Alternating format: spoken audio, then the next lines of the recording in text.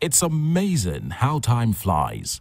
As six years after the sudden demise of former governor of Ondo State, Dr. Olusegun Kokumo Agagu, CON, his legacy still lives on as the annual memorial lecture in honor of this great man was held on the 13th of September 2019 at the Civic Center, Victoria Island, Lagos.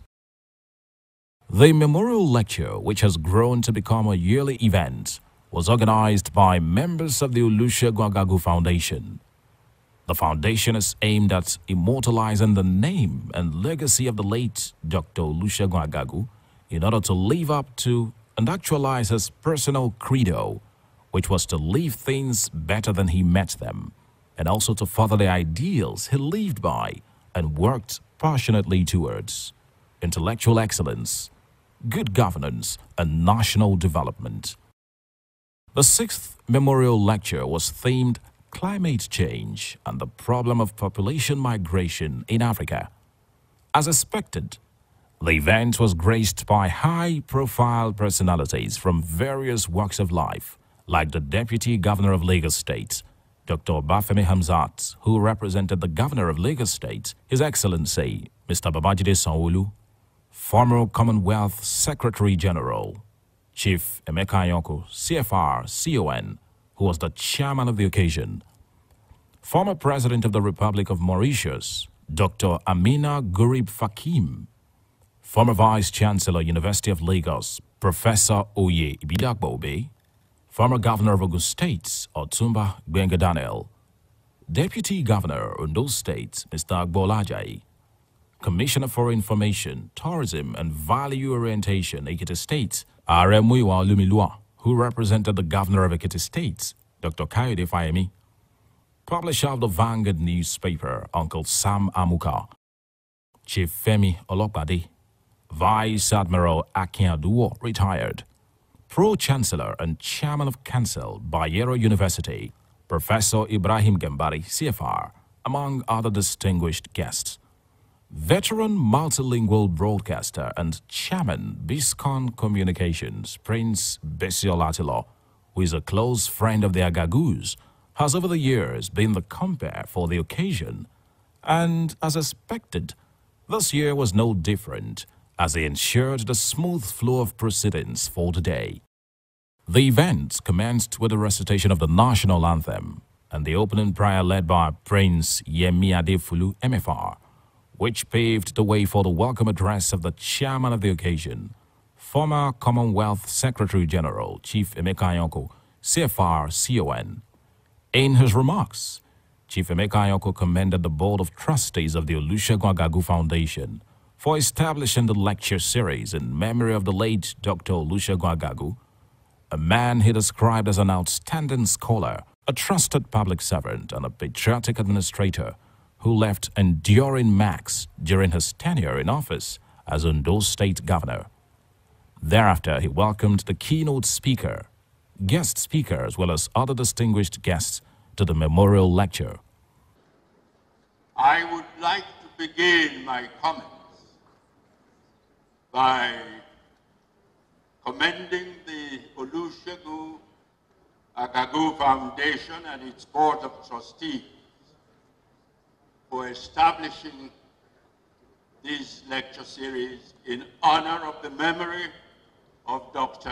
Olusegun Agagu, a man whose personal credo was to leave things better than he found them. His life epitomized what the famous British general and writer Robert Baden Powell, the founder of Boy Scout movement, for those of you who know this Boy Scout movement, what he said, that one should try and leave the world a little better than you found it. And when your turn comes to die, you can be happy in feeling that at any rate, you have not wasted your time, but have done your best. Dr. Olusegun Agagu was an outstanding scholar, a trusted public servant, and a patriotic administrator.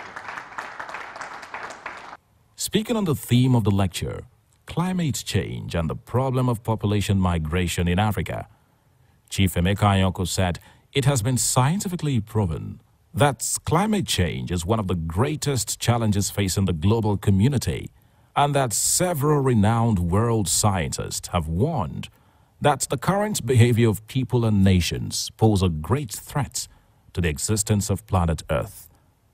I would like to refer fleetingly to the issue of population movement in Africa as a result of climate change.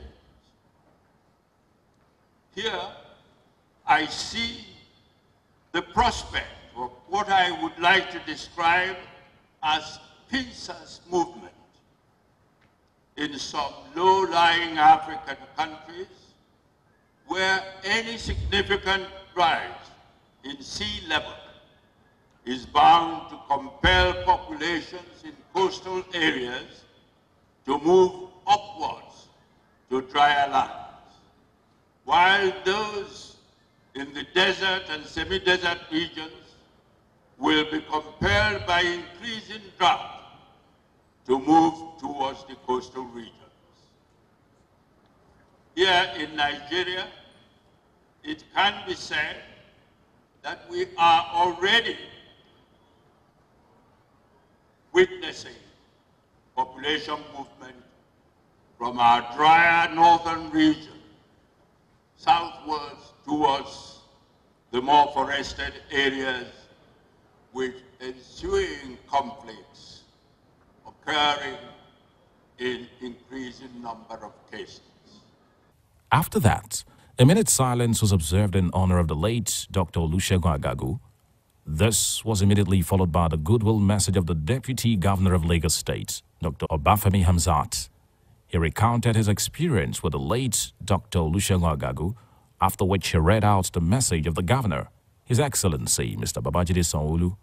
Today we are gathered to celebrate the memory of Dr. Olusegun Agagu, an outstanding academic who gave his best effort in nurturing students of geology and environmental engineering at the University of Ibadan. Also, he left behind indelible legacies as governor of Ondo State from May 2003 to February 2009 before he passed on. The efforts of the leadership of this foundation to promote the ideals and legacies of the late Dr. Olusegun Agagu are commendable and worthy of emulation. Dr. Agagu in his lifetime was an affable and cerebral personality who believed in the goodness of mankind and harmony with nature. The occasion of the sixth annual memorial lecture with the adopted theme, climate change and the problem of population migration in Africa, is a fitting testimonial to the life of a man who was committed to the promotion of a sustainable environment and habitat. Interestingly, as governor of Lagos State and host of this colloquium, I'm also faced with the challenges of managing the, the environment in the littoral state, just like Dr. Agagu during his tenure as governor of Ondo State. The challenges of population migration are an issue based on socio-economic and environmental factors. It is a phenomenon that should be addressed on multiple levels and not by government alone. It is indeed one of the key consequences of climate change, which we are all presently experiencing in a state like Lagos and other states around the world. The keynote speaker, former President of the Republic of Mauritius, Dr. Ameenah Gurib Fakim, said it has become very necessary and clear that sustainable development cannot be achieved without actions to adopt to mitigate climate change. And that is why there is an urgent need to take actions to combat climate change and its impacts on growth. It is becoming abundantly clear that the threat of climate change cannot be solved by any one nation working alone. Country level actions need to be complemented by multilateral efforts. In 2018, the Intergovernmental Panel on Climate Change, IPCC, special report on the consequences of global warming at 1.5 degrees and above. The panel reminded us that the threat to our planet and its people is more serious than we thought.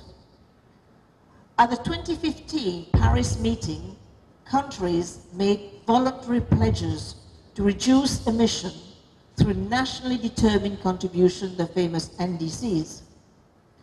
Recent climatic events are constant reminders that along with the, with the change in climate, nature is becoming more ferocious, natural disasters are more frequent, and even more frightening, impacting people the hardest, especially the poor people the hardest.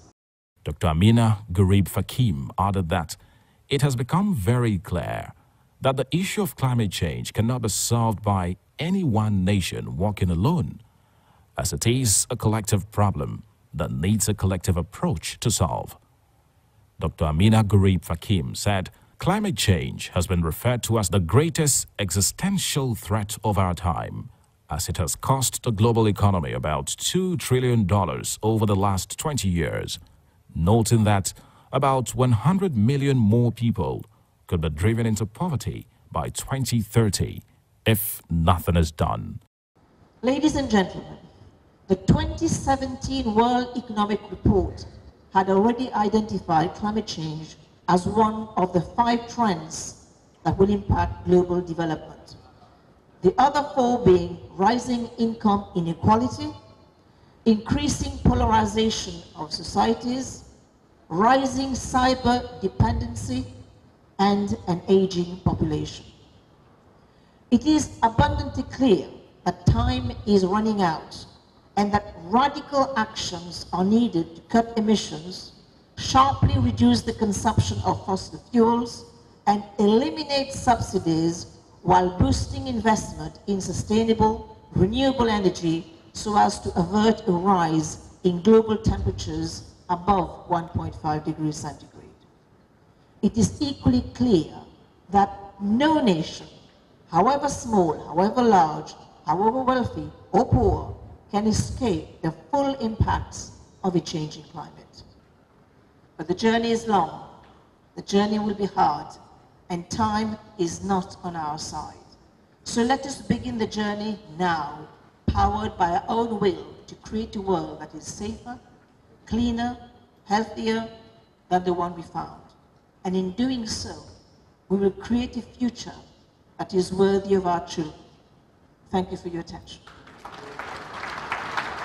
This was immediately followed by the remarks of the guest speaker, Professor Oye Ibidapo-Obe, who said climate change is expected to trigger growing population movements within and across borders as a result of factors such as increasing intensity of extreme weather events, sea level rise, and acceleration of environmental degradation, adding that climate change will have adverse consequences for livelihoods, public health, food security, and water availability, which will in turn impact on human mobility, likely leading to a substantial rise in the scale of migration and displacement. Professor Oye Ibidapo-Obe noted that climate change will cause population movements by making certain parts of the world less viable places to live as a result of food and water shortages, severe flood, and storm situations. Climate change is expected to trigger growing population movement within and across borders as a result of such factors as increasing intensity of extreme weather events. People are going to move from one place to the other they are going to be pushed out of that environment to another one. And what, that's what we are so used to in this country. Sea level rise, the flooding, and so on that we see on coastal areas, we'll have to um, give rise to people moving away from that elsewhere. This will have adverse effects on livelihood, on public health, food security, and water availability. This in turn will impact on human mobility, likely leading to a substantial rise in the scale of migration and displacement. The links between climate change and migration, however, are usually far from simple and direct. That is, it's not a direct relationship. Climate-specific factors are often difficult to isolate from other environmental challenges. So it's important to look at a broader migration and environmental nexus. Other factors such as conflict, governance, level of development also play important roles. Other climate risks Professor Oye Ibidapo-Obe spoke about include continuous increase in temperature, commutation of extreme weather phenomenon, bumper crops and crop failure, polar ice melting, changes in planet ecology, spread of diseases, and attenuation of the North Atlantic drift. He ended his remark by noting that our environment is indeed our future, and it is imperative that we intensify efforts to sustain planet Earth for the future. Climate change will cause population movement by making certain parts of the world much less viable places to live. I mean, nobody wants to live on top of the Arctic because of, uh, of the snow caps and so on and so forth. By causing food and water supplies to become more unreliable and increasing the frequency of the severity of floods and storms. The risk that we see in climate change and the environment include continuous increase in temperature. Now, the whole idea now is to stop the Earth's temperature to rise additional 2 degrees Celsius, as a matter of between 1.5 and 3.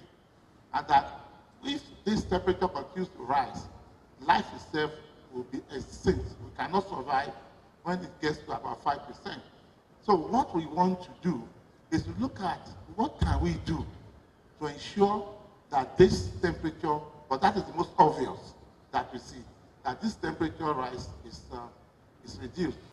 Later on, guests were shown a short video of goodwill messages from the Deputy Secretary General United Nations, Ms. Amina Mohammed, OFR, and Chief Olusegun Obasanjo. This was immediately followed by the question, contribution, and answer segments. Plaques of honor were then presented to the speakers and special guests who took turns to receive them. The vote of thanks was delivered by Omomi Akisoya, nay Agagu, which brought the event to an end. From Biscon Communications, we congratulate the organizers of the Olusegun Agagu Foundation on the successful hosting of the sixth memorial lecture in honor of the late Dr. Olusegun Kokumo Agagu. We pray he continues to rest in the bosom of our Lord. Amen.